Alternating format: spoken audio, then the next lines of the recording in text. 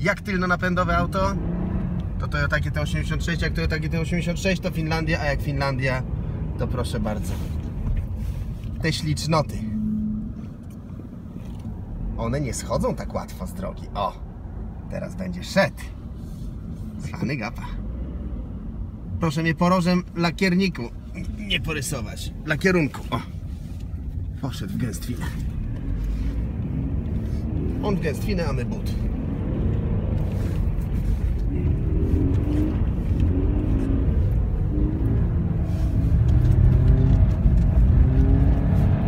Pięknie się odpycha.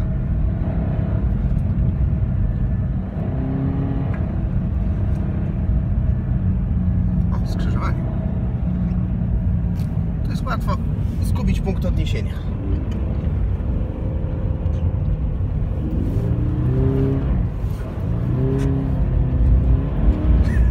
Jak Japończycy.